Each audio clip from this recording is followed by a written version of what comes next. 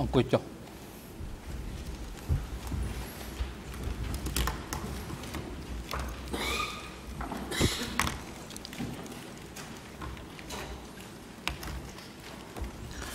អង្គជំនុំជម្រះប្រកាសបន្តកិច្ចដំណើរការនីតិវិធីសកម្មការសកម្មការនៅថ្ងៃនេះអង្គជំរះធ្វើសកម្មការបន្តស្ដាប់សកម្មកម្មសាក់សីសុធីបញ្ចប់ហើយនឹងផ្ដើមស្ដាប់សកម្មកម្មសាក់សីដែលមានហស្សនាមពី TTW 916 កលាមជីសមនការកញ្ញាជាសៀហងឡើងរីការពីស្ថានភាពវត្តមានអវត្តមានភិក្ខីនិងបុគ្គលដែលអង្គជំរះកោះអញ្ជើញឲ្យចូលរួមនៅក្នុងកិច្ចដំណើរការសមនការថ្ងៃនេះសូមគោរពលោកប្រធានសម្រាប់សវនកម្មនៅថ្ងៃនេះកលាមជីកាត់សម្គាល់ឃើញថាគ្រប់ភាគីទាំងអស់ในរឿងក្តីនេះមានវត្តមានដោយឡែកលោកនួនជាមានវត្តមាននៅបន្ទប់ឃុំខ្លួនខាងក្រោមសាសវនកម្មនេះដែលលោកស្នើសុំលះបង់សិទ្ធិមានវត្តមាននៅក្នុង ទប់សវនកម្មដោយផ្ទាល់នៅថ្ងៃនេះវិខិតលះបង់សិទ្ធិរបស់លោកនួនជាបានប្រកាសដល់កលាបញ្ជីរួចហើយសាក់សីដែលត្រូវមកផ្ដល់សក្ខីកម្មបន្តបញ្ចប់នៅថ្ងៃនេះគឺលោកស៊ូធីលោកនិងមេធាវីប្រឹក្សាលោកមុំរិទ្ធាមានវត្តមានរួចហើយនៅក្នុងបន្ទប់សវនកម្មនេះសាក់សីដែលត្រូវមកផ្ដល់សក្ខីកម្មបន្ទាប់ទៀតមានរហស្សនាម2 TCW 916សាក់សីបានបញ្ជាក់ថាតាមសមត្ថភាពដែលគាត់អាចដឹងគឺគាត់មិនមានទំនាក់ទំនងញាតលោហិតឬញាតពុន ជាមួយនឹងជិតចំចៅទាំងពីររូបគឺលោកនួនជា និងលោកខៀវសំផនឬភៀកគីដើមមិនដឹងរដ្ឋបវេនីណាមួយដែលត្រូវបានទទួលស្គាល់នៅក្នុងរឿងក្តីនេះទេសាក់សីនឹងធ្វើសម្បត្តិតាមជំនឿសាសនារបស់ខ្លួននៅចំពោះមុខអង្គជំនុំជម្រះសូមអរគុណលោកប្រធានបាទអរគុណកញ្ញាជាស៊ីហងជាដំបូងនេះអង្គជំរះសម្រាប់លើសំណើសុំរបស់ជនជាប់ចោតនួនជាជាមុនតិនអង្គជំរះបានទទួល លិខិតសូមលះបង់សិទ្ធិចូលរួមក្នុងសកម្មភាពដែលផ្ទាល់ក្នុងបន្ទប់សកម្មភាពនេះរបស់ជនជាប់ចោតនួនជាចុះថ្ងៃទី7ខែមិថុនាឆ្នាំ2016ដែលបានបញ្ជាក់ថាដែលគាត់មានបញ្ហាសុខភាពឈឺក្បាលឈឺចង្កេះមិនអាចគូយូរបានមិនអាចផ្ចង់អារម្មណ៍បានយូរនិងដើម្បីមានលទ្ធភាពចូលរួមសកម្មភាពនៅថ្ងៃខាងមុខឲ្យមានប្រសិទ្ធភាពខ្លួនសូមលះបង់សិទ្ធិចូលរួមនិងមានវត្តមានដោយផ្ទាល់ក្នុងបន្ទប់សកម្មភាពនៅថ្ងៃទី7ខែមិថុនាឆ្នាំ2016 បានឃើញកំណត់ហេតុពិនិត្យសុខភាពជនជាប់ចោតនួនជាដែលធ្វើឡើងដោយគ្រូពេទ្យប្រចាំការពិនិត្យព្យាបាលថែទាំសុខភាពជនជាប់ចោតនៅអវតកចុះថ្ងៃទី7ខែមិថុនាឆ្នាំ2016បានកត់សម្គាល់ពីស្ថានភាពសុខភាពរបស់លោកនួនជានៅថ្ងៃនេះថាមានអាការៈឈឺចង្កេះអង្គុយយូរមិនបាន អង្គុយយូរឈឺកាន់តែខ្លាំងនិងវិលមុខនឹងបានផ្ដល់អនុសាសន៍ថាសូមឲ្យអង្គជំរះអនុញ្ញាតឲ្យលោកនួនជាចូលរួមតាមដានកិច្ចដំណើរការសកម្មភាពពីបន្ទប់មួយស្ថិតក្រោមសាលសកម្មភាពនេះ ផ្អែកលើមូលដ្ឋាននេះនឹងយោងតាមបទបញ្ញត្តិនៃវិធាន815នៃវិធានផ្ទៃក្នុងអវតកអង្គជំរះអនុញ្ញាតឲ្យជនជាប់ចោតនួនជាចូលរួមនៅតាមដានកិច្ចដំណើរការសកម្មភាពពីចម្ងាយពីបន្ទប់ឃុំខ្លួនមួយស្ថិតក្រោមសារសកម្មភាពនេះតាមរយៈឧបករណ៍សោះទស្សន៍សម្រាប់ពេលសកម្មភាពពេញមួយថ្ងៃនេះប្រកបដោយបុគ្គលិកផ្នែកសោះទស្សន៍ជាប់ប្រព័ន្ធសោះទស្សន៍សម្រាប់ជនជាប់ចោតនួនជាអាចចូលរួមនិងតាមដានកិច្ចដំណើរការសកម្មភាពពីចម្ងាយក្នុងកំឡុងពេលនៃកិច្ចដំណើរការសកម្មភាពសម្រាប់ថ្ងៃនេះ ហើយជាបន្តទៅនេះអង្គមាសផ្ដល់វិធីការជូនទៅសហមន្ត្រីការពីក្តីដើម្បីមានឱកាសសួរដេញដោលចំពោះសាក់សីសួរធី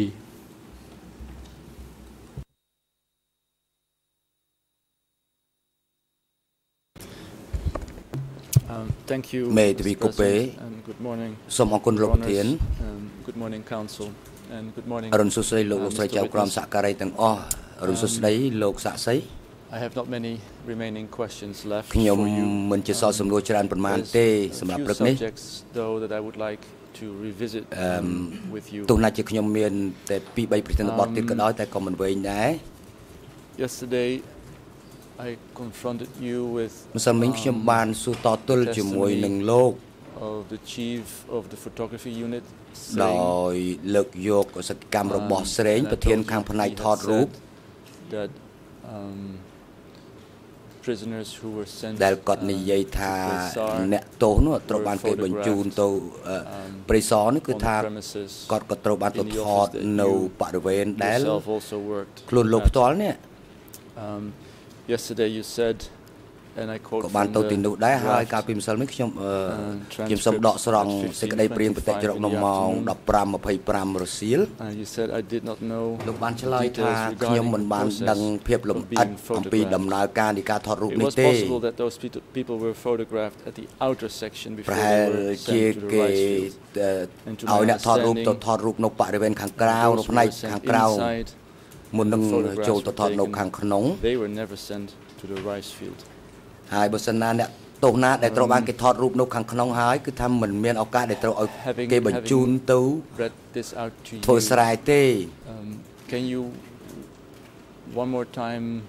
ខ្ញុំសូមសួរបញ្ជាក់លោកជាថ្មីម្ដងទៀតទៅតាមការចងចាំរបស់លោកបានល្អបំផុតនោះថាអ្នកទោសដែលគេបញ្ជូនទៅព្រៃសរឬក៏ស24សូមលោកបញ្ជាក់អំពីដំណើរការនេះបន្តិចបានទេ ចំពោះអ្នកទោសដែលបញ្ជូនទៅស24គឺរឿងនេះគឺខ្ញុំអត់បានដឹងដឹងទេពីព្រោះពីផ្នែកខាងក្រៅគឺខ្ញុំអត់បានដឹង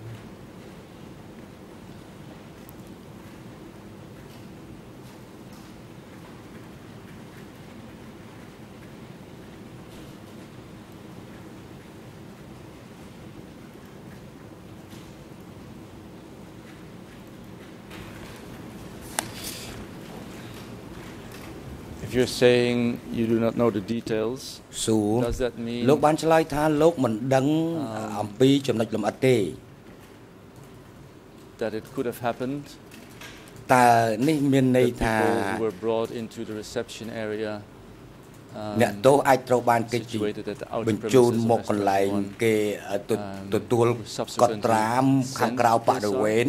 មុននឹងគេបញ្ជូនទៅព្រៃសរអញ្ចឹងយ៉ាងម៉េចលោកស្រីចាប់ក្រនហ្វេនលោកមេតាវីលោកមិនត្រូវសួរ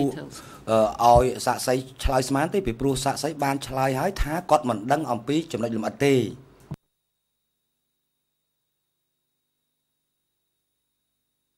Well That is the question. Um, that's what he says now. Let me read to you before I come back to that. បាទនឹងគឺអ្វីដែលគាត់ឆ្លើយ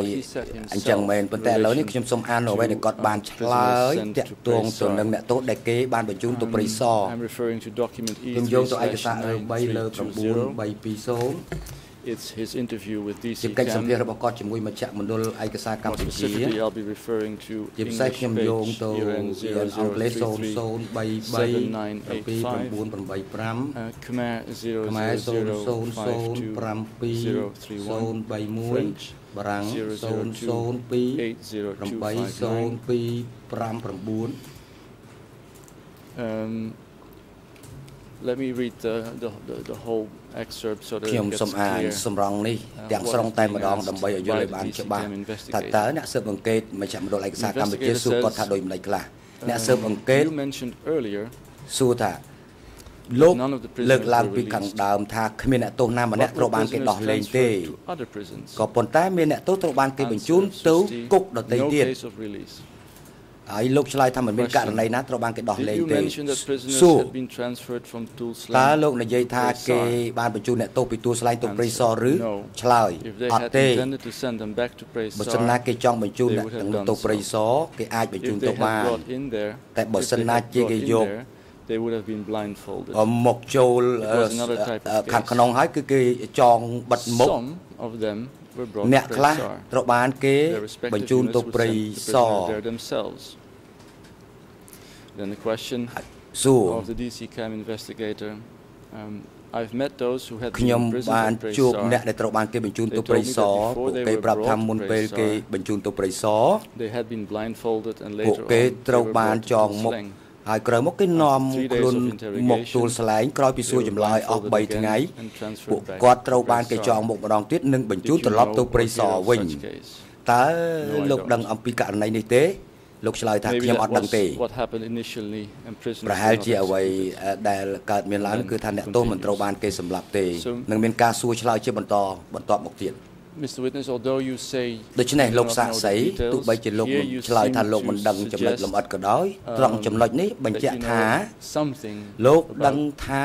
how prisoners ended up in Presa តើអ្នកទោសអាចនឹងត្រូវគេបញ្ជូនទៅព្រៃសរដោយរបៀបណា not correct តើត្រឹមត្រូវដែរឬក៏អត់តាមរយៈចម្លើយរបស់លោកជាមួយមជ្ឈមណ្ឌលនេះចំពោះរឿងចម្លែកជាមួយមជ្ឈមណ្ឌលវា យូរហើយប៉ុន្តែវិធានការនេះគឺខ្ញុំអត់បានចងចាំច្បាស់លាស់ទេប៉ុន្តែខ្ញុំចង់បញ្ជាក់ប៉ុណ្ណេះខ្ញុំធ្វើការនៅខាងខាងក្នុងនេះអ្នកទូដែលនៅតែបញ្ជូនមកដល់ក្នុងហើយគឺអត់មានបញ្ជូនទៅ ទៅទៅក្រៅវិញទេហើយបើតាមការដែលគេតាក់ទងគ្នាខាងក្រៅគេបញ្ជូនមិនគឺគេនៅខាងកងពិសេសខាងក្រៅនោះអាហ្នឹងគេ មានលទ្ធភាពគេដឹងអីទាំងអស់តែខ្ញុំដឹងតែអ្នកទូដែលចូលមកដល់ក្នុងខាងក្នុងនេះទេ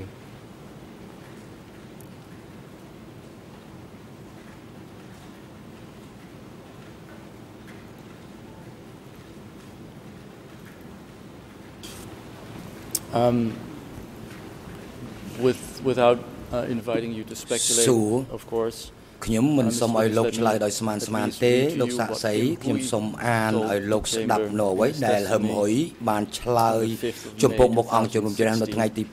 5ឧសភា2016នៅប្រហែលជាម៉ោង10:43ដល់10:45 He talks about គាត់បាននិយាយអំពីអ្នកទោសដែលបានមកដល់ at the reception area នៅកន្លែងគេទទួលយកអ្នកទោសនៅស21 just before 10:45 he says ហើយនៅមុនម៉ោង10:45គាត់និយាយថាតាហោចាត់តាំងឲ្យខ្ញុំបំពេញការងារនេះគឺបញ្ជូនអ្នកទាំងនោះទៅព្រីសហើយមានអ្នកទោសមួយក្រុមផ្សេងទៀតគេបញ្ជូនមកទួលស្លែងបញ្ចប់ការដកស្រង់ Can you give a reaction to what him តើលោក យល់ដូចម្ដេចដែរនៅអ្វីដែលហឹមហ៊ុយបានជំរាបជូនអង្គជំនុំជម្រះនេះដោយដែលខ្ញុំបានបញ្ជាក់អញ្ចឹងគឺថាអ្នកទោសតែមកដល់គឺនៅខាងក្រៅគឺកងការពិសេសនេះគឺអ្នកទទួលដូច្នេះចំពោះការគេដែលបញ្ជូនខាងក្រៅទៅណាគឺខ្ញុំអត់បានដឹងទេគឺខ្ញុំដឹងតែអ្នកទោសដែលចូលមកដល់ខាងក្នុងគឺខ្ញុំអាចដឹង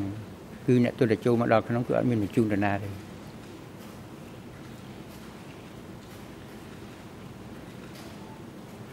ខ្ញុំសូមបញ្ជាក់គឺខាងក្នុងចូលដល់ក្នុងបរិវេណក្នុងគុកតែម្ដងមិនមែននៅខាងក្រៅទេ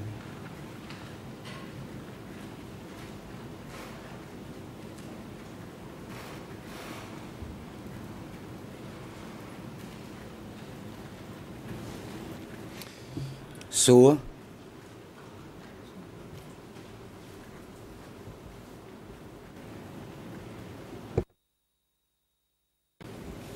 Let me um, sidestep for a bit and then come back to the subject. ខ្ញុំសូមសង្កត់ធ្ងន់ចំណុចនេះបន្តិច Do you know what the principle of secrecy តើលោកដឹងអំពីគោលការណ៍រក្សាការសម្ងាត់ទេហើយបើលោកដឹងតើគោលការណ៍រក្សាការសម្ងាត់នេះត្រូវបានគេអនុវត្តនៅស21ដែរទេដោយខ្ញុំសូមបញ្ជាក់ហើយបញ្ជាក់ទៀតថារឿង ការអ្វីទាំងអស់ក្រៅពីភារកិច្ចដែលខ្ញុំធ្វើគឺខ្ញុំអត់សូវចាប់អារម្មណ៍ទេដូច្នេះការងារទាំងនោះគឺមិនសូវជាចម្បងខ្ញុំគិតយ៉ាងម៉េចខិតខំបំពេញភារកិច្ចខ្លួនឯងកុំឲ្យមានតែកំហុសតែប៉ុណ្ណឹង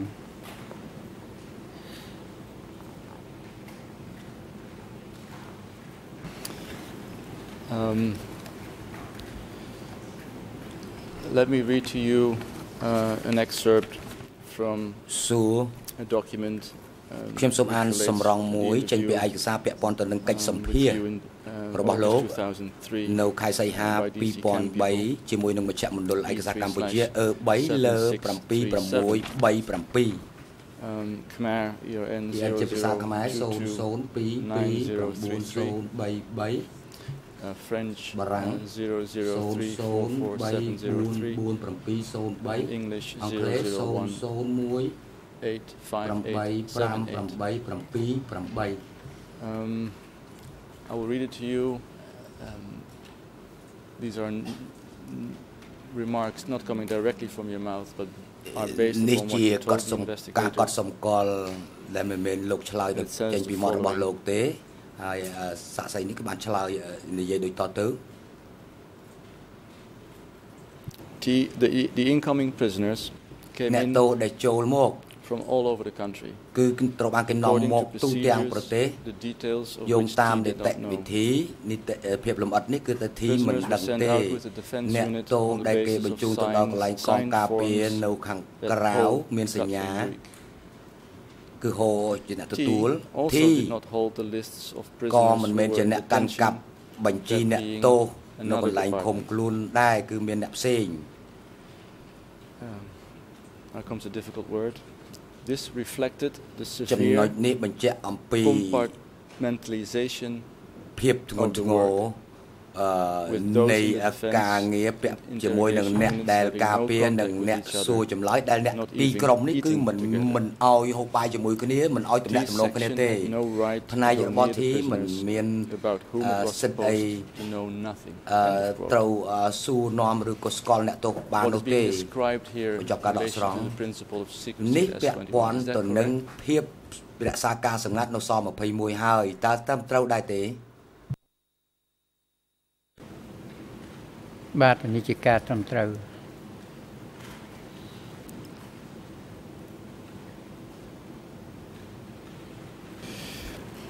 following up the uh, សួរ this uh, description of the តាមរយៈការរៀបរាប់អំពីគោលការណ៍រក្សាការសម្ងាត់នេះ you yourself ខ្លួនលោកផ្ទាល់បានឆ្លើយនៅចំពោះមុខអង្គជំនុំជម្រះក្នុងសំណុំរឿងប្រឆាំងទៅនឹងដូចនៅខែកក្កដា2009ឯកសារអឺ3លើ7 466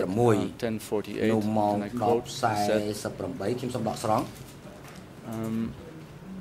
regarding the lists of prisoners តកតងទៅនឹងបញ្ជីអ្នកទោសស21 and compiled by me មិនវាមិនខ្ញុំមិនមែនជាអ្នករៀបចំចងក្រងនោះទេគឺម៉េងជាអ្នកទទួលខុសត្រូវបញ្ជីរួមនៅស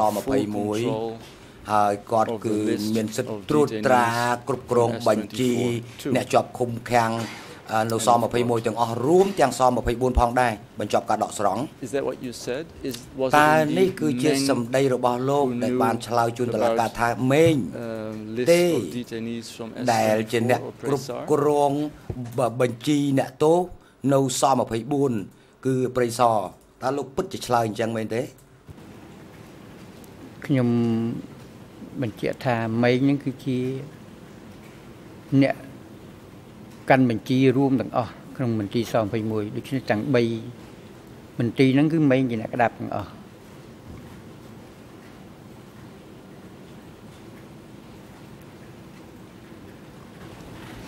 Now yesterday uh, so as I showed you កាលពីម្សិលមិញខ្ញុំបានបង្ហាញលោកនៅបញ្ជីមួយ of 100 prisoners ដែលជាបញ្ជីដោះលែងអ្នកទោស100នាក់ពី That was document E3/8 កងពល920ឯកសារ លោកប្រធានសូមការអនុញ្ញាតឲ្យអិនមេធាវីអានញាប់ពេសារឡើងវិញ EON បកប្រែមិនទាន់ទេសូមឲ្យយឺតយឺតហើយគួរបញ្ជាក់ពីរដង យើងបានណែនាំរួចហើយ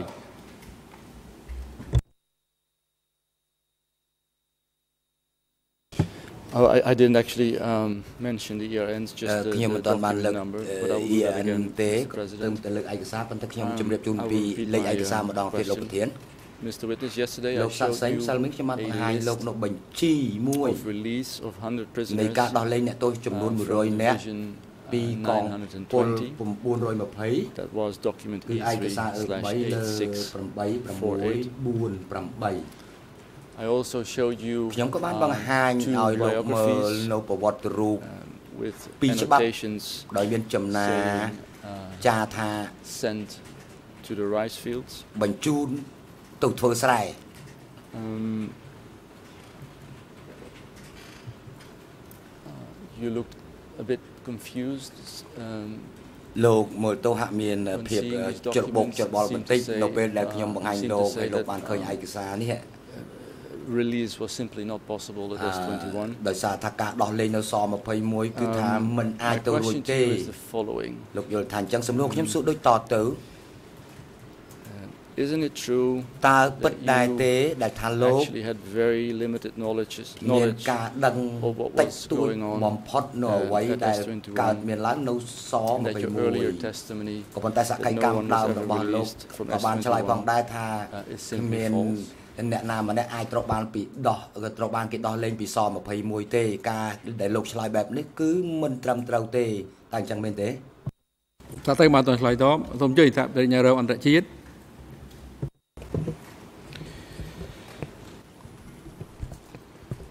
Je m'oppose à la façon dont la dernière question a été posée parce que la défense របៀបសួរសំណួរចុងក្រោយនេះព្រោះថាមេធាវីការពារក្តីគាត់យល់ឃើញថាមនុស្សអ្នកទោសទាំងអស់នោះត្រូវបានគេដោះលែងហើយ l'interprétation qui est donnée à ce mot libéré អំពីពាក្យថាដោះលែងនេះមិនច្បាស់លាស់ដូចគ្នាទេ on avait déjà fait des remarques ដល់ពេលនេះយើងបានធ្វើការកត់សម្គាល់តទៅនឹងឯកសារ3/965នៅក្នុងសំណាក់ការរួចហើយហើយតទៅនឹងឯកសារនៃមនុស្សទាំង100នាក់ដែលមកពីកងពល920ដែលមានឯកសារអឺ3/8648នេះគឺថាយើងអាចនិយាយបានថាបុគ្គលទាំងអស់នេះត្រូវបានដោះលែងហើយត្រូវបានបញ្ជូនមកមន្ទីរស21វិញហើយសម្លាប់ហើយមាននៅក្នុងបញ្ជី OCIJ ផងអញ្ចឹងការដែលលើកឡើងថាអ្នកទាំងអស់នេះត្រូវបានដោះលែងរហូតហើយចប់នោះមិនត្រឹមត្រូវទេគឺថាត្រូវបញ្ជូនមកមន្ទីរស21វិញហើយសម្លាប់ចោលអញ្ចឹងមកតកតងទៅនឹងមនុស្ស45នាក់ដែលយើងឃើញថាសុទ្ធតែមកពីមន្ទីរស21ខទាំងអស់អញ្ចឹងការបកស្រាយនេះត្រូវទៅប្រយ័ត្នប្រយែងហើយការដែលមកសួរសាកសីនេះដែលលើកឡើងថាគាត់មិនដឹងព្រោះថាសាកសីនេះគាត់មិនអាចដឹងទាំងអស់ទេអញ្ចឹងគួរតែប្រយ័ត្នប្រយែងក្នុងការលើកឡើងថាដោះលែងសុទ្ធតែម្ដងអត់មានយកមកសម្លាប់ចោលវិញនោះ Mr President I find this an incredible objection គឺខ្ញុំយល់ឃើញថាការជំទាស់នេះវា មានលក្ខណៈ all of a sudden when we come up with a document ប៉ុន្តែនៅពេលដែលយើងបាន it is លើកយកឯកសារនេះមក interpreted in all kinds of ways សួរគឺថាយើងអាចបកស្រាយតាមរបៀបផ្សេង As a matter of fact DC Chem and the defense agree មជ្ឈមណ្ឌលឯកសារកម្ពុជានិងមជ្ឈមណ្ឌលឯកសារកម្ពុជាយល់ស្របជាមួយគ្នាថាគេដោះលែងនៅថ្ងៃទី26 DC Chem មជ្ឈមណ្ឌលឯកសារកម្ពុជាក៏បានបោះពុំផ្សាយនៅកូនសភៅរបស់ខ្លួនពីចំណុចនេះផងដែរ uncalled for ហើយការដែលនិយាយថាមិនត្រូវអ្នកតោមិនត្រូវបានគេដោះលែងម្នាក់សោះនោះមិនត្រឹមត្រូវទេខ្ញុំគឺថាសួរ បញ្ជាក់ he simply doesn't know many things ក៏ប៉ុន្តែសាក់សីរូបនេះគឺថាមិនដឹងអ្វីទេគាត់គាត់ឆ្លើយថាគាត់មិនដឹងអ្វីទេ If you claim he doesn't know things, how would he know what he doesn't know? I mean ចុះបើសាក់សីគាត់ឆ្លើយថាមិនដឹងតាហើយធ្វើម៉េចឲ្យគាត់ដឹងបើគាត់ឆ្លើយថាមិនដឹងតាហើយមេធាវីកូពេលោកស្រីចៅក្រមហ្វិនខ្ញុំយល់ស្របពីចំណុចនេះ So let let me repeat it ប៉ុន្តែឥឡូវខ្ញុំសូមសួរបញ្ជាក់ឡើងវិញជាថ្មីលោកមេធាវីសួរយ៉ាងម៉េចសួរទៅប៉ុន្តែកុំឲ្យសាក់សីឆ្លើយវាយតម្លៃលើថ្នាក់ធនធានរបស់លោកជាមេធាវីសាក់សីមិនមានមុខងារវាយតម្លៃលើក្តីសន្និដ្ឋានរបស់មេធាវីទេ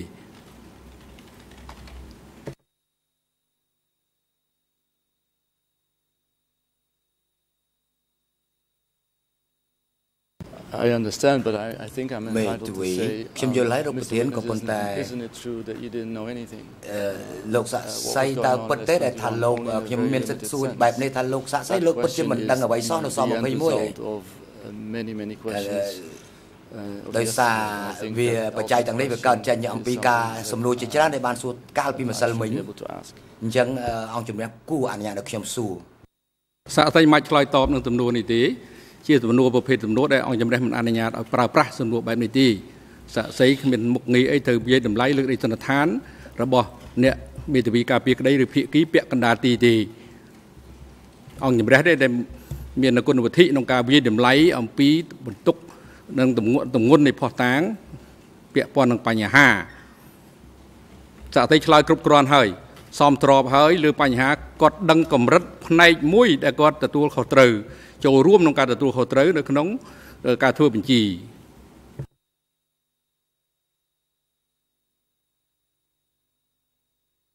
It's uh, good to know that the witness is allowed to speculate on this document that he doesn't know. But when I ask a question, then of course that is not allowed.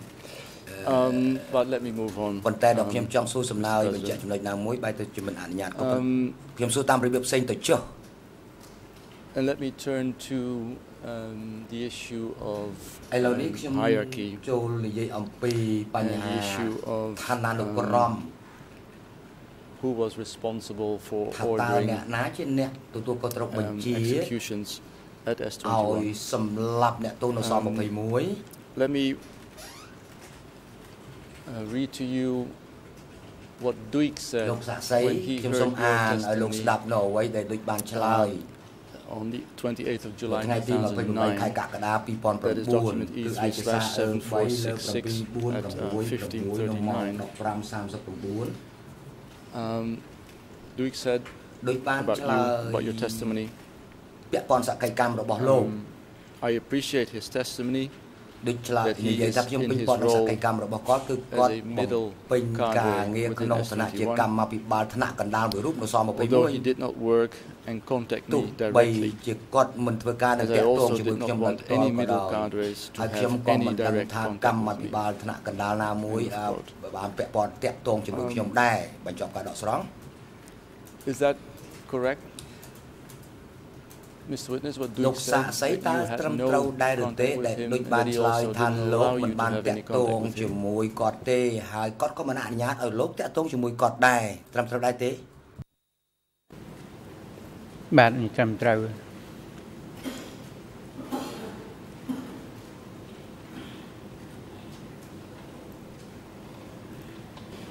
Yesterday you testified that Hor was មេធាវីម្សិលមិញលោកបានឆ្លើយថា Hor គឺជាមេរបស់លោក direct contact with him ហើយលោកមានការប្រស័យតាក់ទងផ្ទាល់ជាមួយ Hor Is it true that you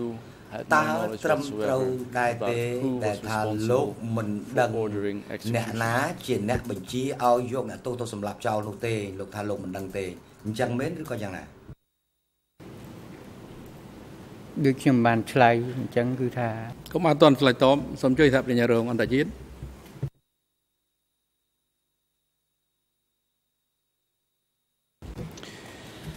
Merci Monsieur le Président បាទសូមអរគុណលោកប្រធានខ្ញុំគិតថាសំណួរទាំងអស់នេះសុទ្ធតែជាសំណួរដដែលដដែលយើងឃើញយើងស្ដាប់ឮ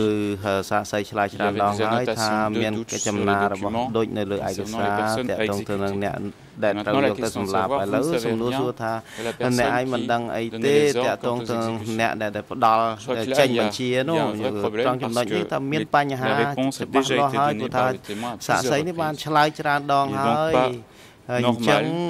មិនមើលទៅដូចមិនត្រឹមត្រូវតតសោះដែលមេធាវីការពារក្តីបកស្រាយចម្លើយរបស់សាកសីរូបនេះថាគាត់នឹងពុំមានតំណែងអ្វីសោះជាមួយដូចអញ្ចឹងគឺថាគាត់ឃើញគាត់ឃើញមានចំណាគាត់ដឹងថាដូចធ្វើចំណាធ្វើអីហើយអញ្ចឹងវាមានតំណែងតំណងហើយមិនមែនអត់ទេសោះនោះទេ Yesterday, uh, Mr. President, I read about មេធាវីកូហ្វេលោកប្រធានម្សិលមិញខ្ញុំបានអានសម្រង4រក5ក្នុងសម្រងទាំងអស់នេះនិយាយដូចដូចគ្នាដែលថាហោ who decided upon the execution គឺជាអ្នកសម្រេចឲ្យសម្លាប់អ្នកទោសហើយគាត់ the prisoner ចាដូច done with being interrogated គឺថាគឺគឺមានចំណាមួយថាការសួរចម្លើយគឺចប់សពគ្រប់ហើយ តែមិនថ្មីទេខ្ញុំបន្តទៅមុខទៀតចុះ I know what you think already anyway យ៉ាងណាក៏ដោយខ្ញុំដឹងថាលោកកំពុងតែថាយ៉ាងម៉េចទៅ my final point អឺខ្ញុំសូមចូលទៅចំណុចចុងក្រោយរបស់ខ្ញុំ witness yesterday we spoke ម្សិលមិញនោះយើងបាននិយាយគ្នាខ្លីៗអំពីថ្ងៃចុងក្រោយ S21 7th of January ដែលលោកធ្វើការនៅទីនោះនៅថ្ងៃទី7មករា79 Yesterday you said that no document ម្សិលមិញលោកបានឆ្លើយថា belonging to S21 មិនមានឯកសារណាមួយនៅស21ត្រូវបានបំផ្លាញចោល before 7 January នៅមុនថ្ងៃ7មករា79នោះទេ In 2009នៅឆ្នាំ2009លោកក៏បានឆ្លើយគឺឯកសារអឺ3លើក7 466 At 1104 you said quote unquote there was no plan មិនមានផែនការបំផ្លាញឯកសារណាមួយចោលនោះទេបញ្ចប់ការដកស្រង់ Let me first start by saying is it is it correct that there also was no plan ត្រឹមត្រូវដែរទេ document ដែលថាមិនមានផែនការណាមួយបើសម្រាប់ឲ្យបំផ្លាញឯកសារណាមួយចោលនោះទេខ្ញុំចង់បញ្ជាក់ថាមុនថ្ងៃ7មករាហ្នឹងគឺ ថ្នាក់លើខ្ញុំគឺខូគឺអត់មានបានប្រាប់ថាខ្ញុំ មានផែនការផែនការផែនការអីដើម្បីកំទេចឯកសារទេពីព្រោះខ្ញុំមិនហ្នឹងគឺអត់ដឹងសភាពការអីទាំងអស់ហើយហូក៏អត់មានបញ្ជាអីហ្នឹងដូច្នេះឯកសារនៅក្នុងគុកនោះគឺឯកសារខាងមន្ទីរខ្ញុំ គឺនៅតម្កល់នៅដដែលអត់មានបំផ្លាញអី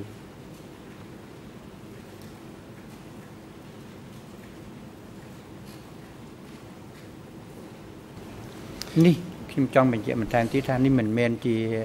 ដូចថាឯកសារខាងសួរចម្លើយក៏ខ្ញុំអត់បានដឹងដែរប៉ុន្តែបើថាឯកសារនៅក្នុងកងការពារដែលខ្ញុំធ្វើបញ្ជីអ្នកទោសនេះគឺអត់មានខោបញ្ជាថាឲ្យបំផ្លាញនេះគឺខ្ញុំសូមបញ្ជាក់ប៉ុណ្ណឹង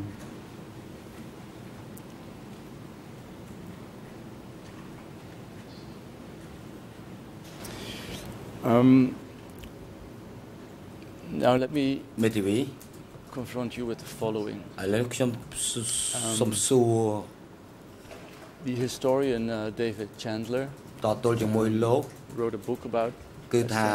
David Chandler ជាអ្នកប្រវត្តិសាស្ត្រគាត់បានសរសេរសៀវភៅអំពីស21ហើយនៅក្នុងសៀវភៅរបស់គាត់ roughly 4300 confessions ថាចម្លើយសារភាព have come to light so far 400ច្បាប់គឺថាត្រូវបានគេរកឃើញ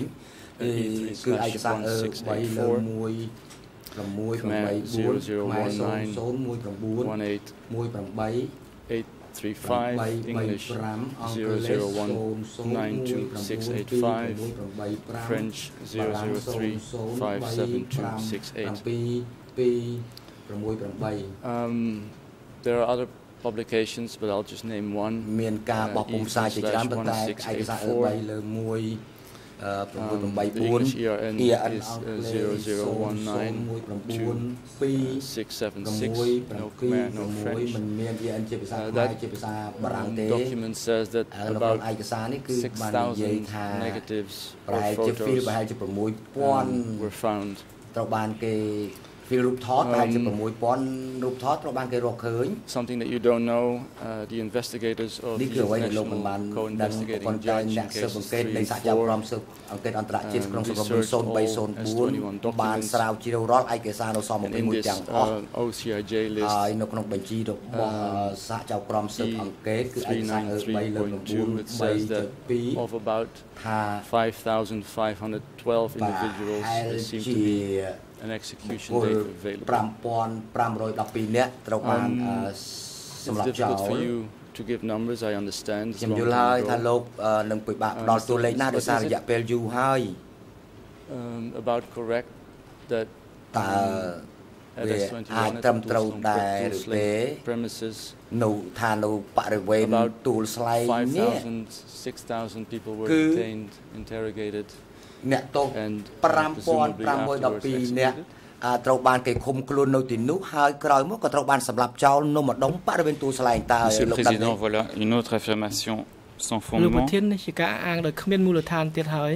Pour reprendre simplement ce qu'il ce qu'il dit sur la liste du BCJ Effectivement, il n'y a que peut-être que 5500 personnes dont les noms 5500នាក់ se retrouvent et qui auraient été exécutés, pour lesquels il y a une date d'exécution sur cette liste.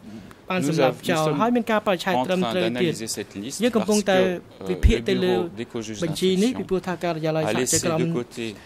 bon nombre de sources qui indiquaient la date d'exécution de ces prisonniers ne pas nous, quand nous serons prêts, nous ferons évidemment une requête à cet effet pour démontrer qu'en tout cas, concernant le nombre d'exécutions, euh, le nombre est bien plus élevé que cela. Deuxièmement, ce n'est pas parce qu'il n'y a que 4300 aveux qui auraient été retrouvés que cela indiquerait qu'il n'y aurait eu que 4300 personnes détenues à S21. Donc la conclusion dirait que 5600 ne repose pas sur des faits ou sur des, des données qui sont euh, fiables. មិនមានមូលដ្ឋានត្រឹមត្រូវទេគាត់មិនអាចលើកឡើងបែបនេះបានទេ Can we cut through the pleadings and ask an open question Witness do you know how many people died in S21 during its existence ដឹងថាមានអ្នកទោសចំនួនប្រមាណអ្នកនៅស21នៅពេលគេចាប់ផ្ដើមបង្កើតស21ដំបូងហ្នឹង If you don't know tell me if you បើលោកសាក់សីដឹងលោកឆ្លើយថាលោកដឹងបើមិនដឹងលោកឆ្លើយថាមិនដឹងឆ្លើយតែតការពិតមកបានហើយគឺខ្ញុំឆ្លើយគឺខ្ញុំអត់បានដឹងចំនួនពិតប្រាកដ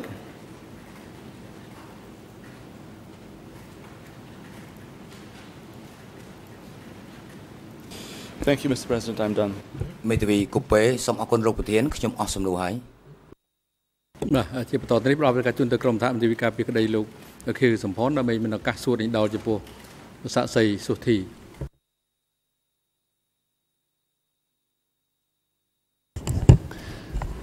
Bonjour, merci Monsieur le Président. Bonjour à tous, bonjour Monsieur le témoin. Je m'appelle Antagissé, je suis co-avocat international de Monsieur Kisampon. C'est à ce titre que je vais euh, vous poser quelques questions euh, qui ne seront pas très longues euh, ce matin. Une première euh, question de clarification, tout d'abord, suite euh, aux questions qui vous ont été posées par M. Lavergne. Vous avez évoqué votre famille et les personnes qui sont décédées et répondant à une de ces questions sur euh, les membres de votre fratrie qui étaient toujours en vie, vous avez indiqué que vous étiez euh, trois personnes, euh, vous-même et deux sœurs, si j'ai bien compris votre déposition, qui étaient toujours en vie. Je n'ai pas bien compris euh, sur l'ensemble de la fratrie qui était au nombre de 8, si cela voulait dire que les cinq autres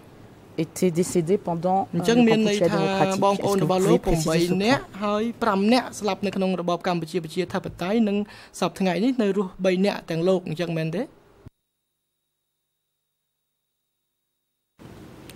ខ្ញុំសូមបញ្ជាក់បន្ថែមរឿងនេះឲ្យបានច្បាស់គឺថាចំនួនកម្ពុជាប្រជាធិបតេយ្យហ្នឹងគឺបងប្អូនខ្ញុំដែលស្លាប់ដោយរបបកម្ពុជាប្រជាធិបតេយ្យហ្នឹងគឺ3នាក់ ហើយខ្ញុំថា4នាក់នេះបងប្អូនខ្លាចទេប៉ុន្តែបងប្អូនបង្កើតគឺ3នាក់ហើយដែលខ្ញុំនៅសល់ទាំងអស់វា5នាក់ប៉ុន្តែក្រោយឆ្នាំ1979បងខ្ញុំ2នាក់ទៀតគឺបានស្លាប់ទៅទៀតដូច្នេះខ្ញុំវានៅសល់តែ3នាក់ដូច្នេះវាទាំងអស់វា8នាក់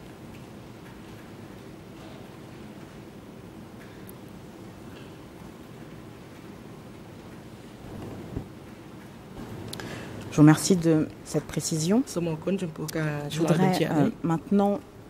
m'attacher à la période au cours de laquelle vous étiez euh, au centre de S21, mais lorsque les locaux étaient encore euh, à la PJ. Répondant aux questions de Monsieur le procureur international à l'audience du 2 juin à 9h33,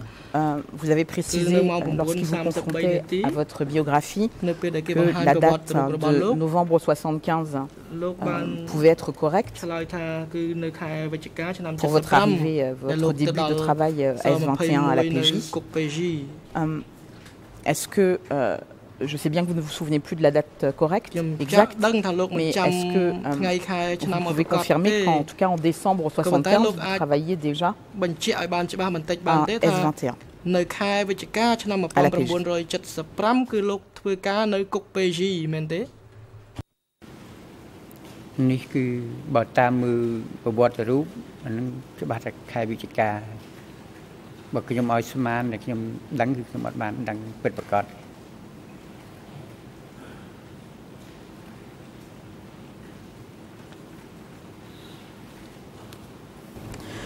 Je vous remercie de cette précision.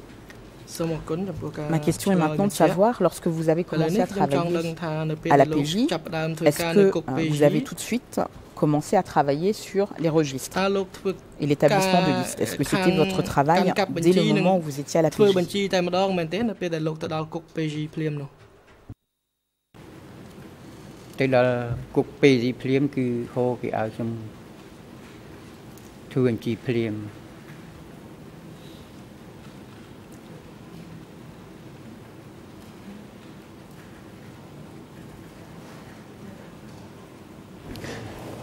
Est-ce que vous savez si vous étiez la seule personne à cette époque-là à vous occuper des listes Ou est-ce qu'il y avait un, un autre service ou d'autres personnes qui s'occupaient euh, de listes à la PJ ធ្វើការខាងបញ្ជីហ្នឹងដោយលោកទេដូចខ្ញុំជម្រាបចឹងគឺថានៅគុក PJ ហ្នឹងគឺមានម៉េងជាអ្នកធ្វើបញ្ជីមួយដែរ ហើយកាលខ្ញុំទៅដល់ព្រៀងហ្នឹងគឺមានដែលខហូហ្នឹងគេដូចខ្ញុំចាំអត់ច្បាស់ចាំច្បាស់ឬបញ្ជីហ្នឹងគឺហូគេនឹងនេះគេយកមកឲ្យខ្ញុំអាបញ្ជីដែលអ្នកទូដែលមានហ្នឹងយកមកឲ្យខ្ញុំធ្វើសារថ្មីវិញ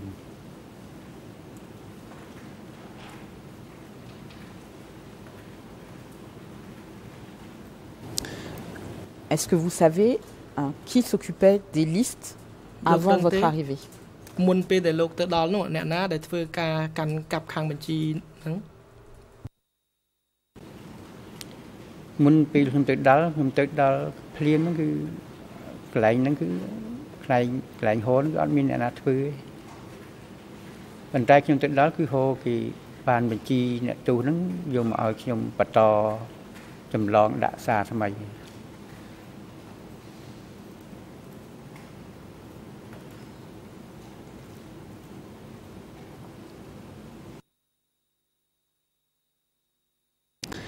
Je voudrais savoir si, et je m'intéresse toujours à la période où vous étiez à la PJ, je voudrais donc savoir si vous vous souvenez euh, si des prisonniers ont été libérés pendant euh, la courte période au cours de laquelle vous avez travaillé à la PJ.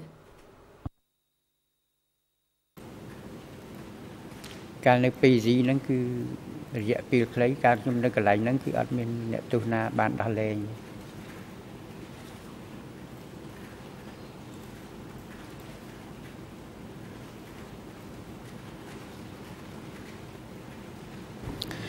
Je, je, pose cette question euh, parce que lorsque vous avez été interrogé par euh, euh,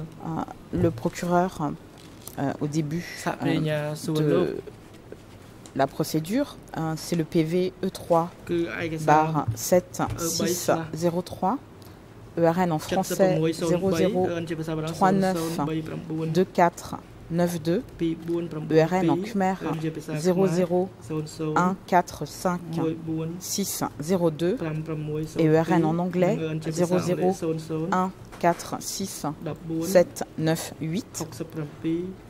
On vous pose des questions sur euh, votre travail à la PJ et voilà ce que vous indiquez. À l'époque,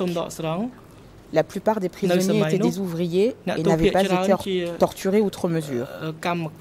Certains d'entre eux avaient même été libérés. Fin de citation. Là, vous évoquez dans cet entretien d'octobre 2006 des personnes qui ont été libérées. Est-ce que ça vous rafraîchit la mémoire អ្នកទោសខ្លះនោះត្រូវបានដោះលែងឥឡូវលោកថាអត់មានទេអញ្ចឹងលោកព្យាយាមនឹកគិតឡើងវិញទៅមើល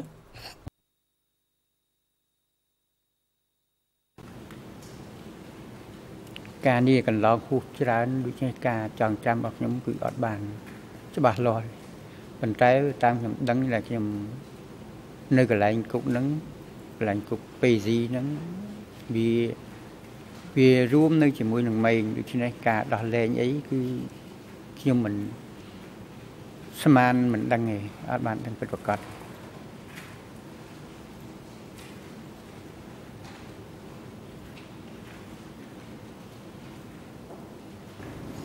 Donc vos, vos souvenirs ne, ne, sont plus très clairs et on peut comprendre le temps s'est écoulé. Euh, mais en tout cas, est-ce que vous vous souvenez euh, avoir dit cela euh, en octobre 2006 au, au procureur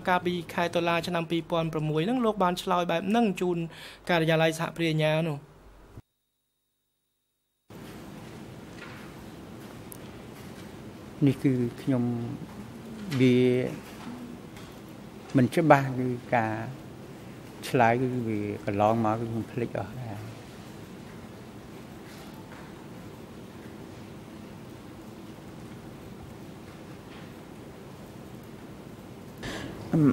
Lorsque vous avez été interrogé sur euh, cette question à l'audience du 2 juin par euh, Monsieur le co-procureur international, euh,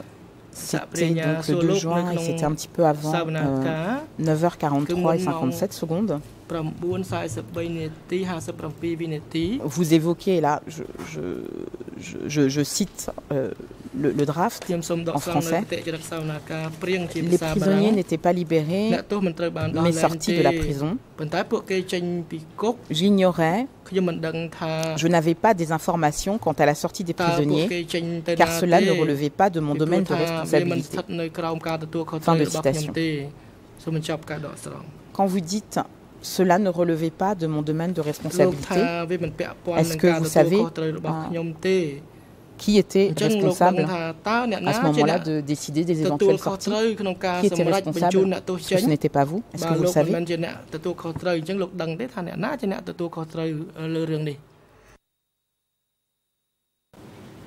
អ្នកទទួលខុសត្រូវ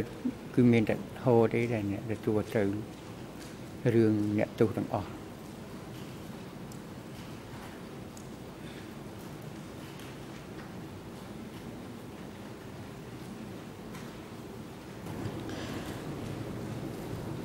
Un autre point que je voudrais aborder avec vous, et je voudrais, avec l'autorisation de Monsieur le Président, vous remettre un document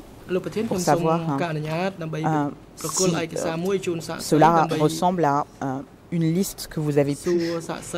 voir à la PJ. C'est le document E3 965 et avec l'autorisation également de Monsieur le Président, si on peut afficher euh, la première page de ce document, ERN en Khmer, par le Khmer 00068840, ERN en français 00324 630, ERN en anglais 0031 6312. C'est un document intitulé Biographie sommaire des prisonniers libérés au sein de la compagnie 44 qui date du 20 décembre 1975. Et euh, en en-tête également sur cette première page, on voit qu'on parle de la brigade 703 et du bataillon 96. Est-ce qu'on peut remettre la version en khmer à Monsieur le témoin et je vous poserai ensuite des questions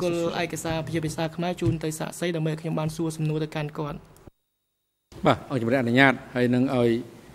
ខាងសោទស្សចាក់ផ្សាយនៅឯកសារនេះលើអេក្រង់ទូរទស្សន៍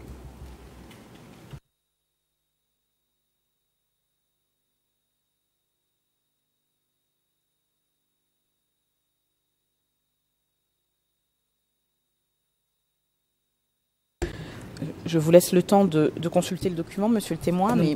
ma, ma première question est de savoir est-ce que vous avez déjà vu cette liste de biographie sommaire de prisonniers libérés. Ça, c'est ma première question. Et ensuite, la deuxième sera est-ce que euh, vous connaissez le bataillon 96 de la brigade 703 Alors, on dit brigade, je ne suis, suis, pas sûr que la, la, la traduction en français soit correcte, puisqu'on a toujours parlé de division 703, mais est-ce que vous pouvez me confirmer que euh, sur le document, sur cette première page en khmer, euh, c'est bien division 703 qui figure. ជាភាសាខ្មែរហ្នឹងគឺគេដាក់ថាកងពលតូច703អញ្ចឹងខ្ញុំសូមសួរថាលោកលោកស្គាល់ស្គាល់កងពលតូចហ្នឹងទេកងពលតូច703ខ្ញុំស្គាល់តែចំពោះវិទ្យាតូច96គឺខ្ញុំអត់បានដឹងអត់បានស្គាល់ច្បាស់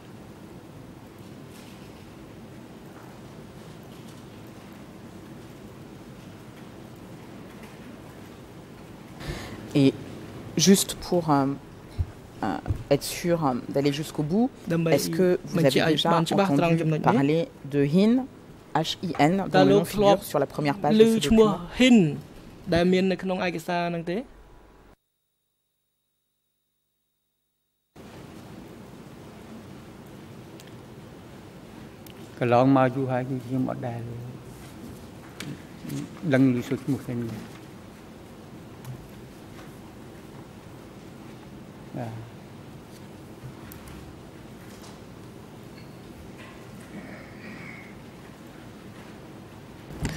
Alors, là, puisque j'ai compris que vous ne connaissez pas ce document et que vous ne connaissez pas ce bataillon, je ne vais pas poser des questions sur le fond de ce document, mais simplement sur la forme. Je voudrais savoir, et là je demande de prendre euh, la deuxième page de ce document, donc le RN en français. On va commencer par le Khmer. Euh, en Khmer 000684 ERN en français 00324 631 et ERN en anglais 00316313.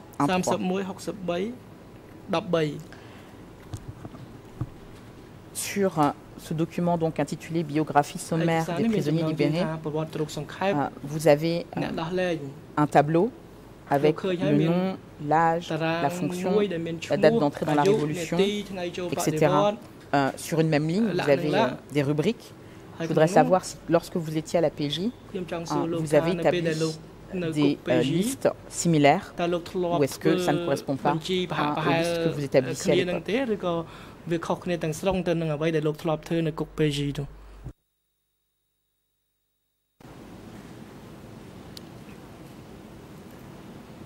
ដូចខ្ញុំបានបញ្ជាក់អញ្ចឹងគឺបញ្ជីនេះមិនមែនបញ្ជីខ្ញុំទេពីព្រោះខ្ញុំ ទៅហើយគឺវាចុងឆ្នាំវាដូចបើតាមមើលឯកសារដែលប្រវត្តិរូបវាខែ11ហើយដូច្នេះបញ្ជីនេះបញ្ជីគេពីមុនមកទេ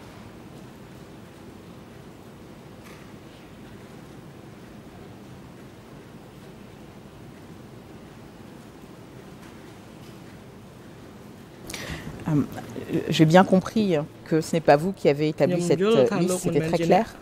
Ma question était un petit peu différente. Je voulais savoir si le format de la liste telle que vous la voyez euh, sous vos yeux, est-ce que ça correspond à des listes que vous faisiez sous le même format euh, lorsque vous étiez à la PJ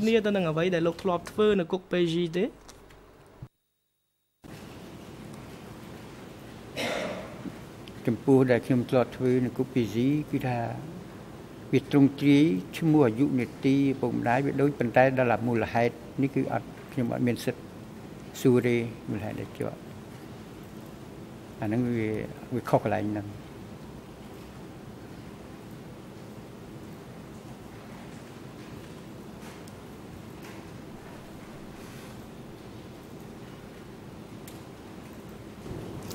Et à la PJ, est-ce que vous indiquiez également, euh, comme cela apparaît sur la dernière case, la dernière case du tableau, la cause d'emprisonnement?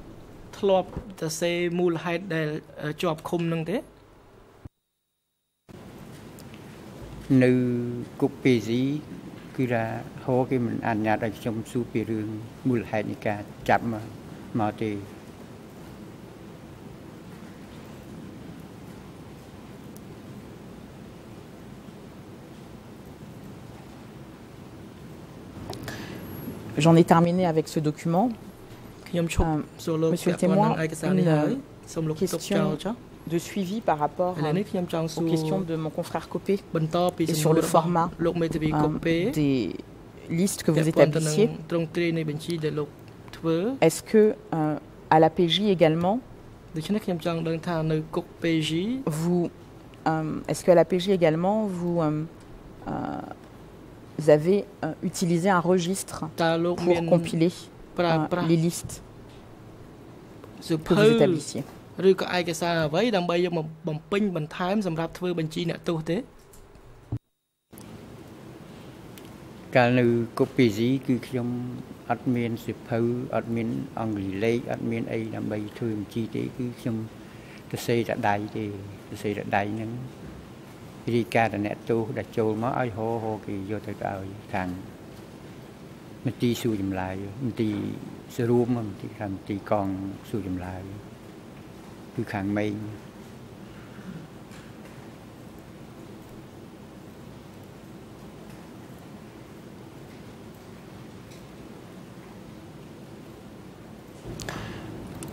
Donc si je comprends bien, ces listes étaient établies sur des feuilles volantes. C'est bien ça ពេលដែលលោកធ្វើបញ្ជីហ្នឹងលោកសរសេរនៅលើกระดาษមួយស្លឹកមួយស្លឹកមែនទេគឺខ្ញុំធ្វើបញ្ជីគឺសរសេរกระดาษមួយស្លឹកមួយស្លឹកតែម្ដងប៉ុន្តែខ្ញុំសូមបញ្ជាក់ថាវាការចងចាំវាឆ្ងាយពេកទៅវាដូចចាំមិនសូវបានច្បាស់លាស់ ប៉ុន្តែគ្រាន់តែខ្ញុំបញ្ជាក់ថាការធ្វើពួកបញ្ជី ចំនួនអ្នកទូចូលមកគឺខ្ញុំកាលហ្នឹងសរសេរតដៃឯងអត់មានតមានអីពួកខ្ញុំអង់គ្លេសអត់ចេះវាយស្អីអត់ចេះដែរ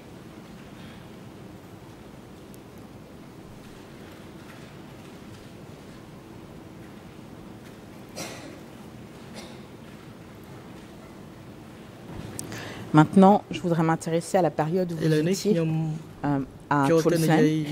lorsque vous avez changé de lieu. Et euh, d'abord sur euh, vos fonctions et sur comment euh, matériellement vous vous organisiez. Est-ce que il est exact de dire que AS21, contrairement à la PJ, vous aviez aussi des, vous aviez des registres à disposition euh, tel que euh, vous l'avez indiqué hier à la suite de, du petit film qui a été diffusé. Est-ce que vous confirmez que AS21 c'était un petit peu différent que à la PJ et qu'il y avait des registres sur lesquels vous travaillez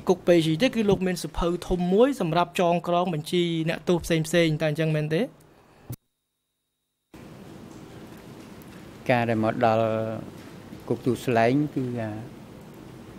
សភៅអីក៏អត់ទាន់មានដល់ដល់ក្រោយទេបានទៅហោគេប្រាប់ឲ្យខ្ញុំធ្វើ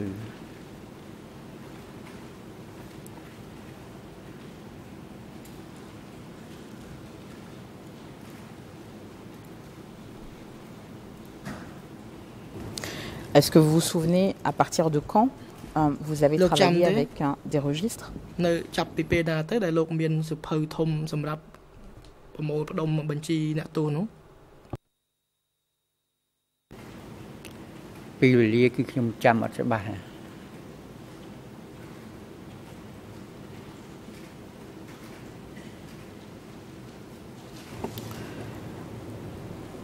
Vous avez indiqué répondant à, je crois, une question de... Euh, je ne sais plus si monsieur le procureur ou monsieur le juge Lavergne. Vous avez indiqué qu'en plus de la liste d'entrée et de sortie des prisonniers, vous avez également été chargé d'établir de courtes biographies du personnel de votre unité. Est-ce que j'ai bien compris votre déposition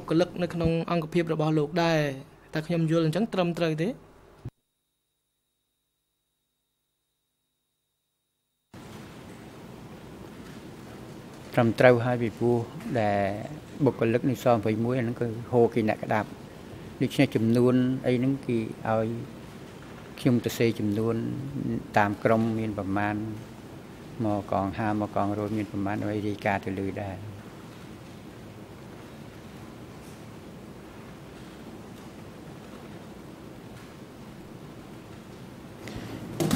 Je conclus de votre réponse que c'est lui qui vous a demandé d'établir ces listes. Est-ce qu'il vous a indiqué dans quel but il fallait euh, euh, faire euh, ces listes et ces courtes biographies du personnel បុគ្គលិកនោះអញ្ចឹងខ្ញុំចង់សួរបញ្ជាក់លោកថាតើលោកដឹងទេថាហេតុអីបានជាគាត់ប្រើឲ្យលោកធ្វើប្រវត្តិរូបសង្ខេបរបស់បុគ្គលិកនោះព្រោះបុគ្គលិកហ្នឹងវានៅក្រោមការក្តាប់ក្តាប់របស់ហោហើយការរាយការណ៍ក៏ដោយគឺហោហ្នឹងគឺ វាពឹងទៅលើអ្នកធ្វើបញ្ជីហ្នឹងឲ្យខ្ញុំធ្វើដែលឲ្យខ្ញុំទៅសេឲ្យខ្ញុំធ្វើដើម្បីរាយការណ៍ទៅលើដឹងចំនួនពិតប្រាកដរបស់បុគ្គលិកនៅផ្នែកអានេះនិយាយបុគ្គលិកនៅផ្នែកការពារតែប៉ុណ្ណោះឯង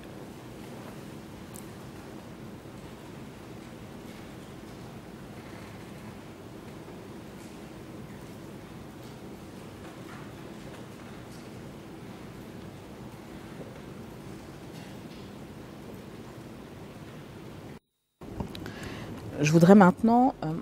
une précision par rapport à la description de S21 tout le slang que vous avez euh, donné. Vous avez décrit euh, une première enceinte dans laquelle vous travaillez et une enceinte extérieure. Et vous avez indiqué qu'il y avait une clôture en zinc pour la débilité. Est-ce que vous vous souvenez si cette clôture en zinc existait la première fois que vous êtes arrivé à Tulslang ពេលដែលលោកទៅដល់ស21ភ្លាមហ្នឹងគឺរបងសង្កសីហ្នឹងមានរួចទៅហើយមែនទេ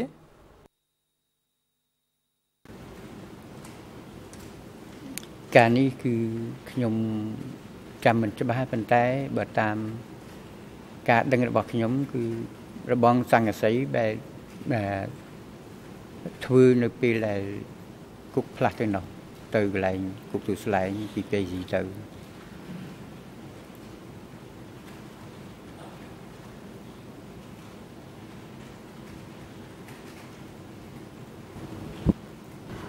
Vous avez évoqué à plusieurs reprises hein, euh, la force spéciale qui était en charge d'accueillir les euh, personnes qui étaient euh, transférées à S21. Vous-même, vous avez indiqué que votre bureau se trouvait, si je ne m'abuse, à l'entrée principale du lycée, donc côté enceinte intérieure. Est-ce que euh, vous confirmez ce que vous avez dit auparavant, à savoir que euh, dans le cadre de vos fonctions, vous n'étiez pas autorisé à aller euh, du côté de l'extérieur de l'enceinte et que tout, votre travail s'est toujours effectué à l'intérieur de l'enceinte du lycée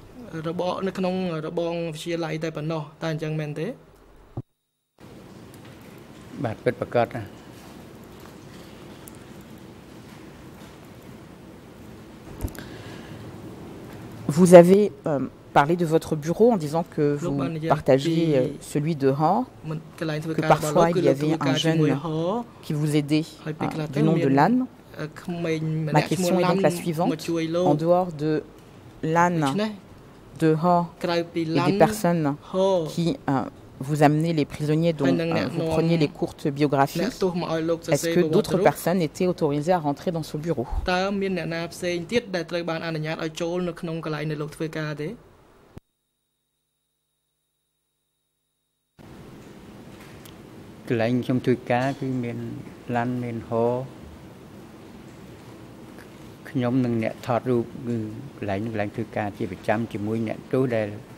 កន្លែងខ្ញុំធ្វើការគឺមានឡាន់មានហោខ្ញុំនិងអ្នកថតរូបគឺកន្លែងកន្លែងធ្វើការជាប្រចាំជាមួយអ្នកទោសដែលកងការជាមួយអ្នកកងការពីដែលយកអ្នកទោសយកមកចូលខាងក្នុង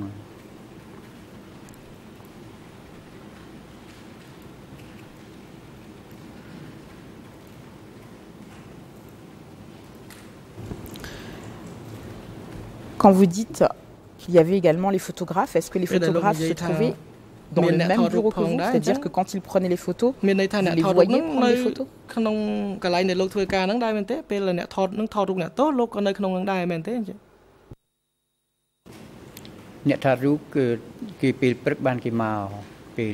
យប់គេអត់នៅប្រចាំហ្នឹងទេគេនៅកន្លែងផ្ទះរបស់គេនោះ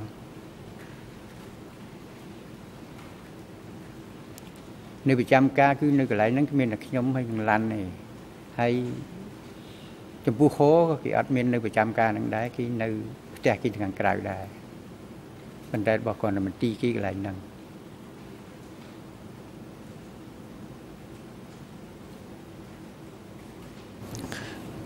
Donc, pour avoir une réponse précise à ma question précédente, est-ce que vous euh, confirmez donc que les photographes étaient à l'intérieur de votre bureau, dans la même pièce, lorsqu'ils prenaient les photos?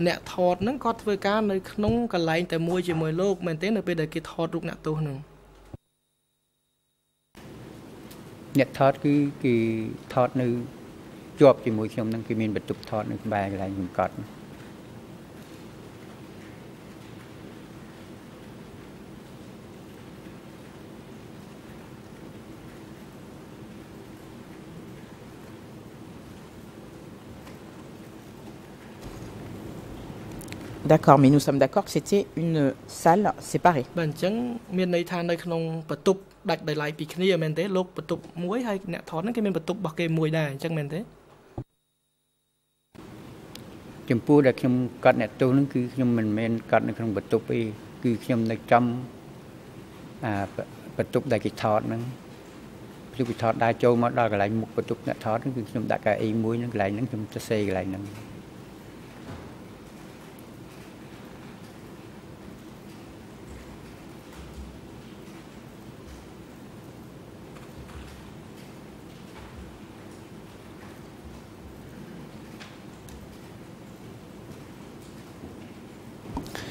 Et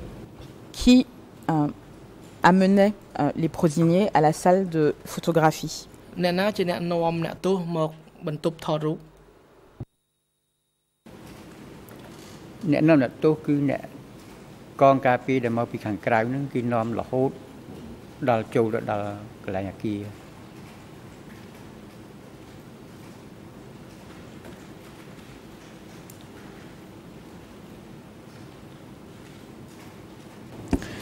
Au moment où euh, vous posiez les courtes questions euh, aux prisonniers, est-ce que les gardes étaient présents ou pas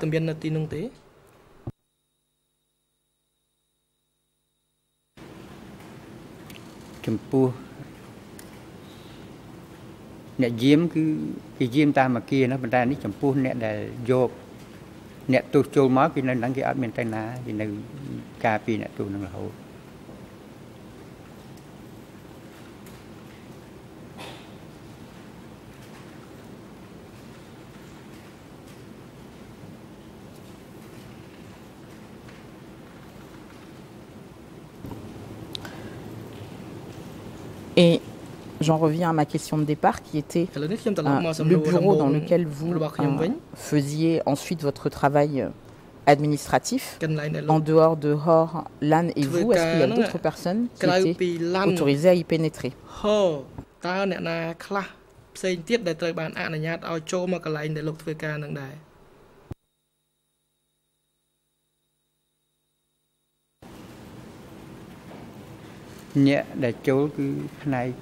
គឺផ្នែកគ្រប់ទាំងអស់ឲ្យតែមានភារកិច្ចមកមកចូលកន្លែងហ្នឹងគឺគេមានសិទ្ធចូលមកកន្លែងជំធ្វើបញ្ជីហ្នឹង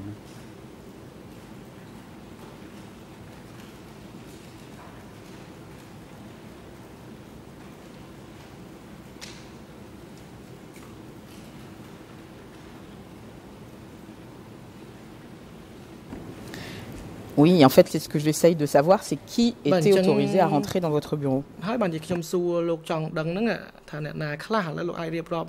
ឲ្យបានច្បាស់បន្តិចទៅមើលអ្នកណាខ្លះដែលមានសិទ្ធិចូលមកក្នុងបន្តិកន្លែងដែលលោកធ្វើការហ្នឹងដូចខ្ញុំបញ្ជាក់អញ្ចឹងគឺថាអ្នកដែលមានការងារដែលតាក់ទងមកក្នុងកន្លែងមន្ទីរកន្លែងខ្ញុំហ្នឹងគឺគេមានសិទ្ធិចូលហើយដូចជា កងស៊ូចម្លើយកងស៊ូចម្លើយគេមកសុំលេខបន្ទប់លេខនេះតាមអ្នកទូហ្នឹងគឺគេមានសិទ្ធិចូល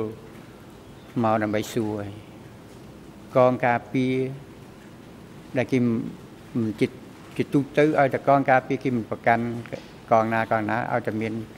គេយកអ្នកទូមកគេមានសិទ្ធិចូលកន្លែងហ្នឹងទាំងអស់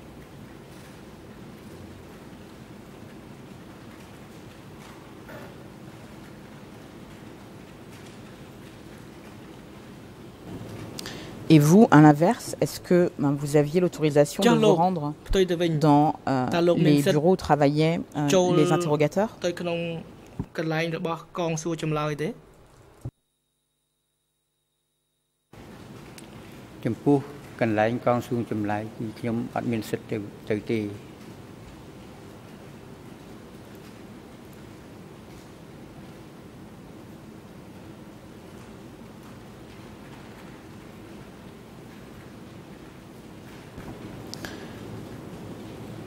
Monsieur le Président, je vois qu'il est 10h10, peut-être voulez-vous marquer la pause maintenant ដល់ម៉ោងត្រូវជប់សម្រាប់ហើយលោកប្រធាន